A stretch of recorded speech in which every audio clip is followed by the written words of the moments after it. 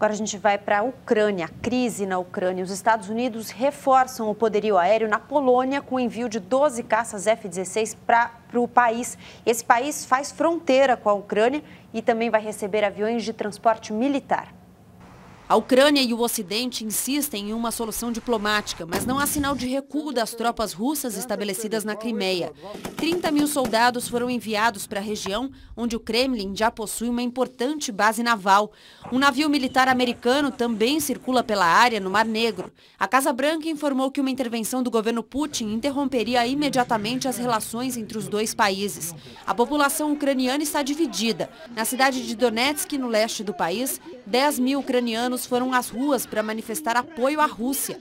O primeiro andar de um prédio do governo foi invadido e com uma bandeira russa hasteada, a população gritava, vem Putin. Em outras cidades do país, a manifestação foi a favor do governo interino ucraniano, que defende a integração do país à Europa. Durante protestos na capital, Kiev, o primeiro-ministro disse que não entregará um milímetro de terra do país à Rússia.